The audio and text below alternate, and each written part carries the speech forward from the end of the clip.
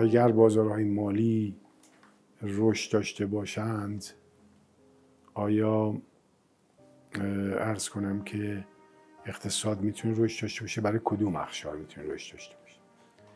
من مقدمتا بگم که تجربه خود من به عنوان کسی که تو مالی بودم و در مالی در هر حوزه علمیش یا هر حوزه آموزشیش یا هر حوزه اجراییش تقریبا دستی بر آتش داشتم الان سی چل سال همه حوزه مالی سن حساب زدن بانک زدن بیمه زدن صندوق زدن شرکت ایجاد کردن بازار گسترش شدن بازار ایجاد کردن رشته مهندسی مالی درس دادن نمی‌دونم لیسانس دادن فوق لیسانس دادن رشته های جدید تعریف همه این حوزه ها تونستم یعنی حضور داشتم مطلع بودم ازشون.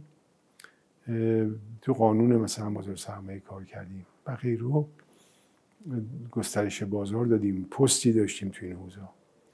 در تمام این دوره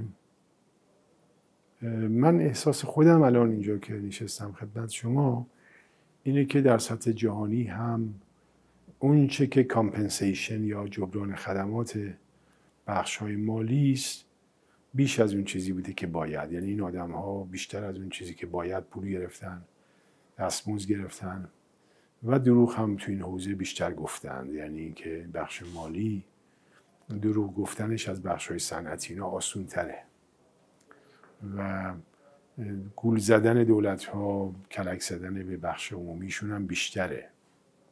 یعنی بله نظام بازار نظام خوبیه.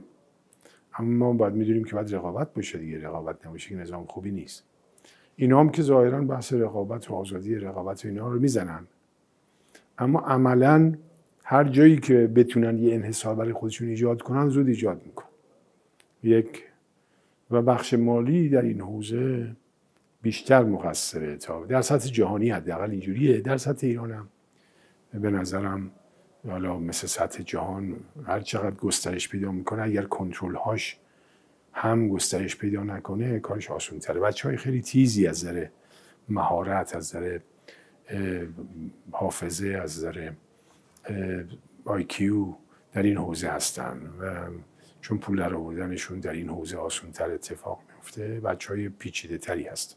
و دولت ها در این عرصه ارز کنم که سخت می‌تونن حریف این بخش مالی بشن ولی به خاطر پیچیدگی هایی که افراد دارن.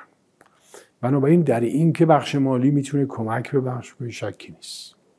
یعنی شکی نیست که این بخش اگر توسعه پیدا بکنه بخش اقتصاد هم توسعه پیدا می‌کنه. نون بیشتری هم پیدا میشه سیب بیشتری هم تولید میشه بهداشت بهتری هم در دسترس خواهد بود. خدمات پزشکی بهتری هم ارائه میشه آموزش بیشتری هم خواهد بود. اگر این بخش مالی درست اداره بشه یعنی اگر نرخ درست تعیین بشه قیمت ها درست تعیین بشه در اینکه شما مسکن بیشتری داشته باشید موثره. در این بخش واقعی موثر در اینکه بیشتر درس بخونن موثره. اما دولتی می‌خواد که این بخش مالی نظارت خوبی داشته باشه. نه دولت اصولا یه حاکمیتی می‌خواد که بتونه این بخش رو بفهمه و نظارت کنه. که این به سمت بیراهه نره. ببینیم یه بیراهش چیه؟ بیراهش نظام چند نرخی ارز؟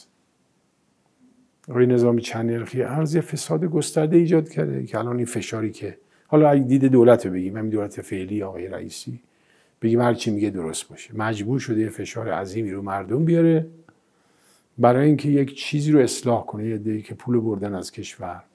ببینید دلار بین 4200 تومان تا دلار مثلا بگیم متوسط این سال بوده 20000 تومان نمیگیم. 35000 تومان امروز باشه میشه 15000 تومان حالا بگیم از این 15000 تومان 5000 تومانش هم مردم دادن. میشه 10000 تومان شما 10000 تومان رو ضرب در سالی مثلا 15 میلیارد دلار بکنید. برای 10 سال 150 میلیارد دلار. اینا ده هزار تومان در هر دلارش خورده باشه. ببینید چه پولی از کشور خارج شده. اینا اصلا جایی برای خرج این پول در داخل کشور نداشتن. چه منابعی از بین رفته چقدر آدم می‌شده با این پول مسائلش رو حل کرد. برای اینکه طراحی اشتباهی مالی صورت کرد یه طراحی ساده است. طراحی. ولی از سال 60 که من یادمه 62 63 دولت های موسوی که من یادمه اقتصاددان ایران در مورد این مسئله توضیح دادن به دولت که این اشتباه است. دلار هفت تومن نگه ندارید. اشتباه ولی به بهانه کمک به مستضعفین و غیره این کار کردم تا امروز.